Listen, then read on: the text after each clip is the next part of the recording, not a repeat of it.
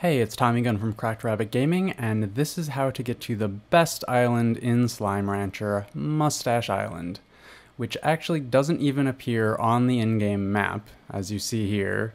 There's an empty void, but if you look at a map that someone, sorry I'm not sure who, created from the PC version, you can see it all the way on the left side there, and you need a teleporter to get there, and this is how you find it. So I'm going to this teleporter over here just to save some time. You could also just go straight north like you're going to the Moss Blanket. Or take this teleporter, and here we are. And there you could just see the island off in the distance. Now, you're going to have to do a lot of jetpacking here, which means you're going to need all the upgrades, most likely.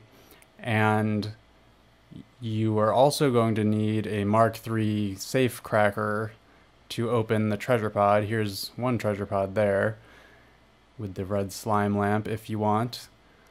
Now I climbed up to the top here just to make sure I had enough to get to this next rock. I'm not sure if you have to do that, but anyway, there is the teleporter, and here we are on Mustache Island.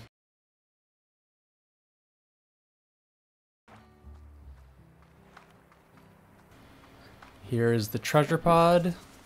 Open it up next to this awesome statue and handlebar fashion pod blueprint acquired.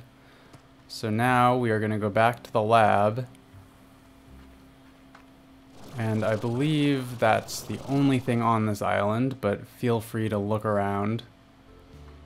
So here we are back at the Slime Science Lab, and we are going to go to Curios and Handlebar Fashion Pod, you need a whole bunch of stuff to make it, but once you do, you will have unlimited mustaches. I just threw it down here, but you might want to put it somewhere else. And you can just get as many as you want from it. And now we're just going to go crazy, sticking mustaches on whatever slimes we want.